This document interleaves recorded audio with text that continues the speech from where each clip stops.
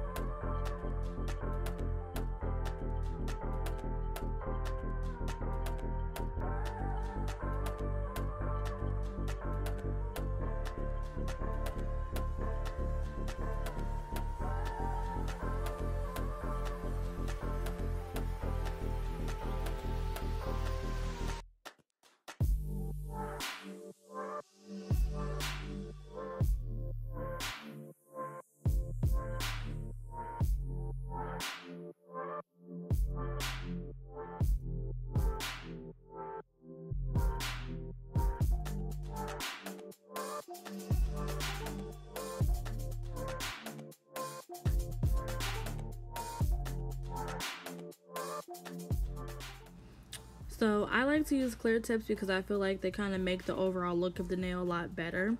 Um, and plus they are way more sturdy than a lot of the um, thin basic nail tips. So I always use clear. Um, so I am applying the nail, making sure that they fit very snug from sidewall to sidewall, making sure the tip is not too big or not too small. But a tip if you want if the nail is a little too wide but the tip is bigger definitely go with the bigger. Just you know sometimes i have to file the nails um for the excuse me guys. I have to file i have to file the nail tip for the in-between shapes but other than that you never want to put too small of a nail tip on because it will either pop off or you will have acrylic hanging on the side because it's not fully covering the nail. I did speed up this part of the video just because of time, but yeah, definitely try using nail um, clear tips and see what you like, you know, of course, but you always want to get a good nail tip. Don't get something too, too thin to where like you have to apply all this acrylic just to get some structure and then don't um, don't get a nail tip that's super super super thick either to where you have to file them thin just to put the acrylic on. Find you a good tip and then go from there. After that i'm going to cut the length and then i'm going to shape the nail into a coffin shape. My client really likes um, short coffin nails or short tapered square. So so today we went with more of a coffin look but um, I use my straight edge toenail clippers to cut my shapes pretty much unless I'm using scissors for long um, lengths but this is definitely an easy easy um, full set for anybody who is a nail beginner or trying to get into nails.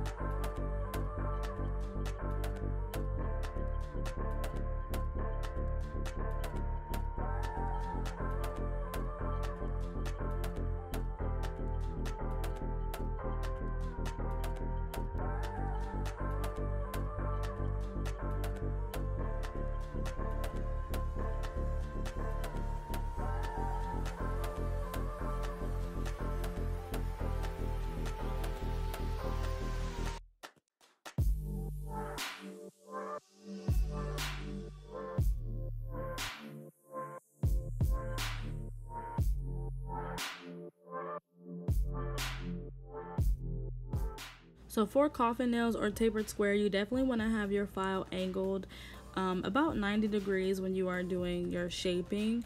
Um, you definitely want to make sure that you are making it even from side to side and giving about the same amount of filing on each side because sometimes if you overfile it will be impossible for you to fix it so take your time. I have a good eye for this and I've been doing this for a while now. So it's easy for me to just file and it comes out pretty good. But if you're a beginner, you're learning new shapes, I would definitely take your time and make sure that you are understanding, you know, how to file on each side and making sure that the nail is even. Um, I am using an 80 grit jumbo file from Pana. I will link it in the description below. Also, guys, I've been linking things in my description for products that I use in the video or things that I really, really love to use. So definitely check the description. My social media is on there and everything. So I'm trying to make sure that I get, you know, content out for you guys and get you guys information. Um, but yes, definitely check the description for any extra information, any questions that I might have answered, or things that I have dropped in the comments for you guys. Um, so yeah.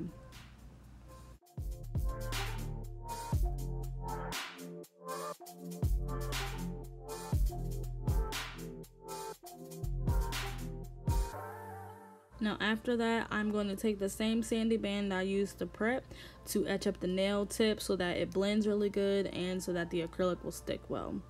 Um, definitely, you want to make sure that if this is on a customer, a client, a friend, family member, that you are changing your drill bits after each customer and you're sanitizing your metal or your ceramic ones after each one. So this acrylic that I have right here, I made it and I'm working on some things too guys, so stay tuned. Um, but you guys always compliment my pinks and like even the color that is on my nails. I made this as well. Um, so yes, stay tuned, guys. I have so much stuff in store for you, and I'm just ready to release everything. But but of course, you have to have you know the final say. You got to make sure everything is good in order, packaging, all that kind of stuff. So yes, definitely be on the lookout. I have so much in store for you guys, and I'm excited. I'm very excited. This is what I've been wanting. My channel's growing, so yes, I'm so excited. but like I said, I made this pink. It's clear pink it looks really really vibrant in the container but it's really kind of like clear and sheer also. Um but i typically on short nails will apply a two ball method depending on what i'm doing. Um so i apply the first bead on the free edge where the tip meets the nail. Then the second bead will typically go where the cuticle is. Um, sometimes I think on this nail or the next one I had to go back and apply a thin amount to the uh, nail like the actual tip of the nail but other than that for short nails I do about two beads. For long nails I do uh, three. I don't mind doing the one ball method but I would rather just be sure that I'm getting the same look on each nail and doing the two or three ball method. But of course it is up to you guys. Um, the brush that I believe I am using is a 14 it's a 12 or 14 Kolinsky brush. I will try to link something in the description box, but I got this at my local Asian nail supply, and I'm not sure what the brand is in specific, but I will try to find something very close. I know Pana has good brushes also, so yeah, it's up to you guys, whatever you think is comfortable and easy for you to do a great set of nails. Now, if you don't know me, I like to apply my primer first and I apply my acrylic when the primer is wet. So I only do a few nails at a time typically, um, especially for my clients who have super oily nail beds. I will apply my primer and then I will immediately go in on those fingers or that finger and apply the acrylic.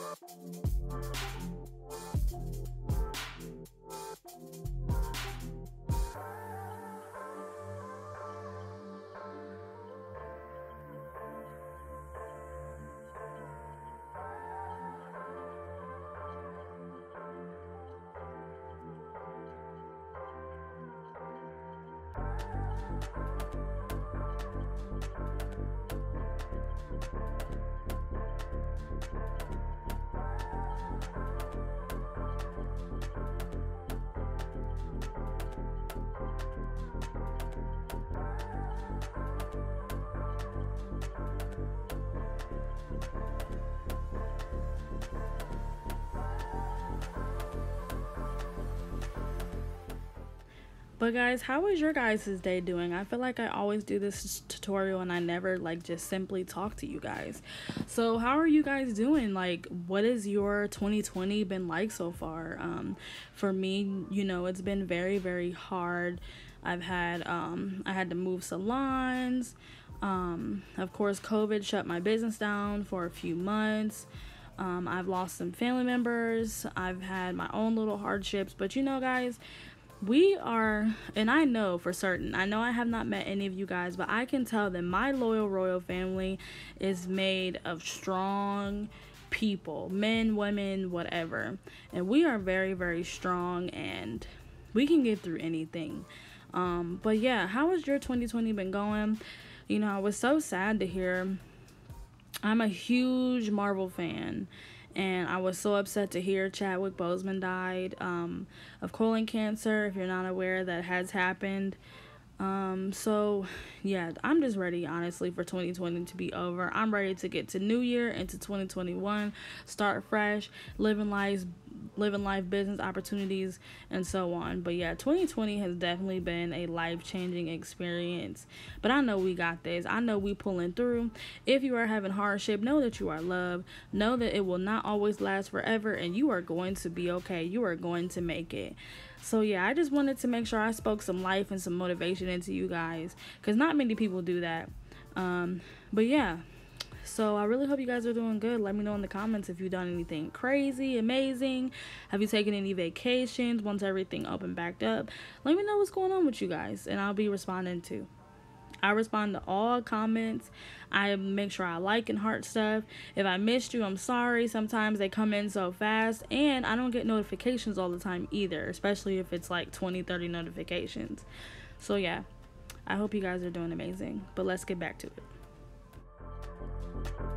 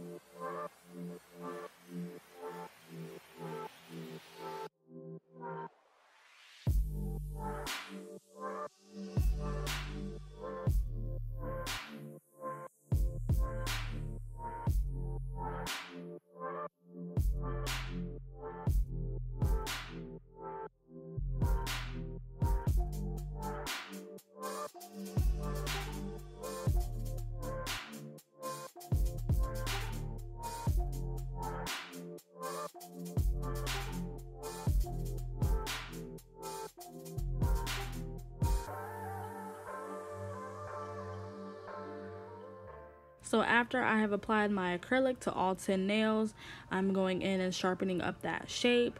So now I'm using an 100 grit file. Um, I got this in a big pack. I'm not even sure where I got them from. I think Amazon or something. Um, so yeah, I'm just using the 100 grit to sharpen the shape. Um, I use 80 grit to pretty much like speed up the shaping process. So like at the beginning, I will use that just so that I can get the shape done. And then typically after, I will use a 100 grit or an 80. It just depends on what I grab first. But I'm just using the 100 grit right now to um, shape and get those lines very crispy. I love crispy nails. I hate those nails that are square and they got the rounded sides or they are supposed to be stiletto but they got the soft tip. I do not like that. If you come sit in my chair until you tell me can you uh, soften my shape you're gonna walk uh, walk out of there with some very sharp and precise nails. All right so i'm taking that same sanding band and i'm just debulking and removing um, any type of bump or anything like that on the top of the nail um, and then after that i'm gonna be doing some cuticle work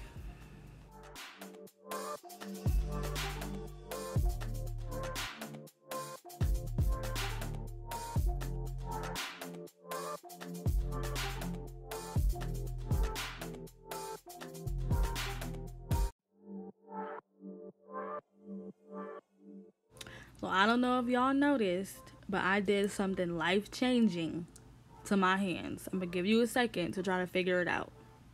Okay, I changed my nail shape. Let me tell y'all, I have not had non stiletto nails in over 10 years.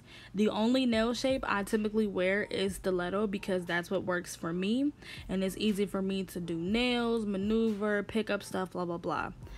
But yeah, I saw this design, which is why my nails are the way that they are. I'll try to post a picture of my nails in, the community uh, postings. But I pretty much was like, okay, I saw this design. It was pink. I love pink. Your girl loves pink. Nails and feet, always pink, pretty much. And I was like, okay, let me try this. I want to see if I can make the color and I want to see if I can get the design down. And I pretty much hit it. But I didn't think the design would look right with stiletto nails. So I went ahead and did the design on coffin nails. I do not like the shape. They're so beautiful. People keep complimenting me, blah, blah, blah. But I do not like coffin nails on me. One, because my nail beds are so long. If you can see them um, on the nail, they're so long. So I feel like when I put bigger shapes or like square or something, they just make my hands look so big and manly. So I typically will wear stiletto nails.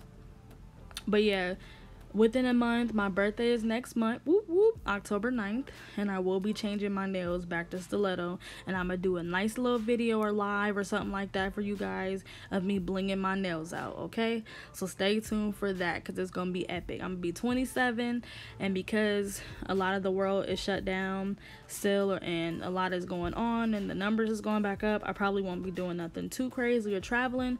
So I was like, okay, I gotta get my lashes done, and my I gotta do my nails big big, so that's what I'm gonna do.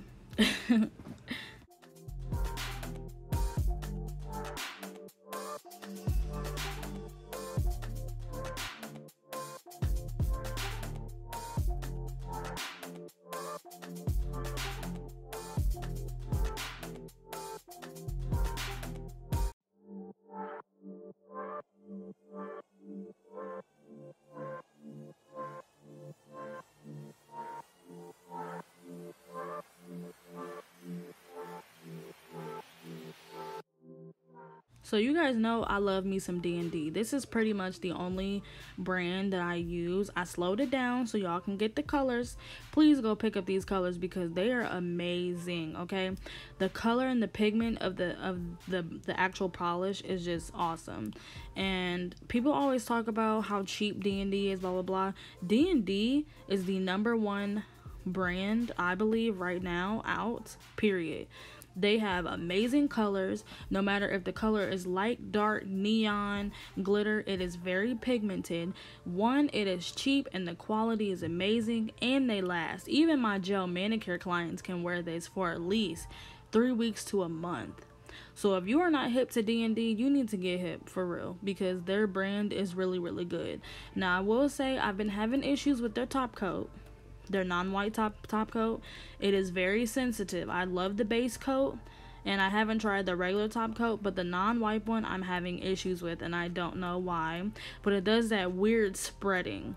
Like you apply it even on a D&D color you apply it to the color and then it does this weird thing where it gets these air bubbles in it and it starts spreading and it'll dry that way so i pretty much skip using the top coat but colors right now y'all need to get hit. Stop sleeping on d&d because they bomb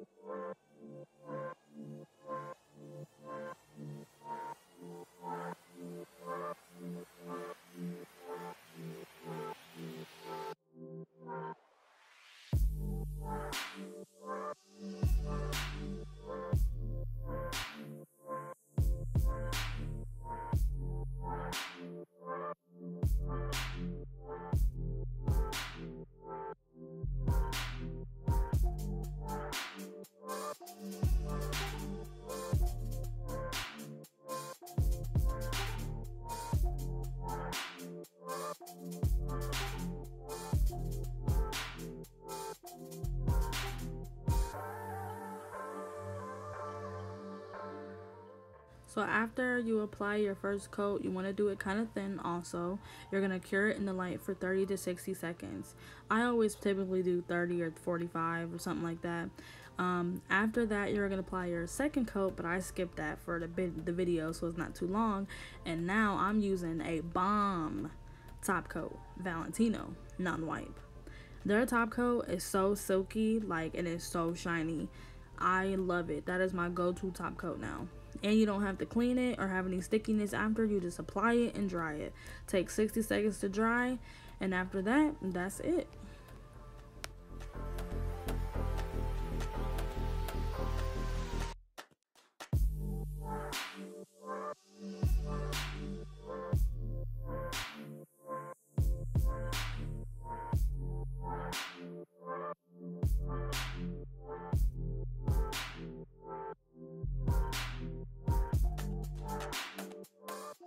Alright guys, I really hope you liked this video. I had fun making it. Hopefully you had fun watching it. If you are new, thank you for tuning in and watching the whole video. If you are loyal royal, stop skipping my videos. Actually look at them. I mean, I know some parts you guys might know, but whatever. But y'all be commenting so fast. I'll be wondering if y'all really be watching my videos. I hope you are because I'm putting in the time to make them. But thanks again, guys. Um, don't forget, like, comment, subscribe, and share. Drop in the comments below what you want to see. Give me some feedback. And check the description for all other information. Follow me on Instagram at Royal Nails by Shar, and I will see you in the next video. Oh, and don't forget, glitter makes everything better, so keep shining. See you later, guys. Have a good one.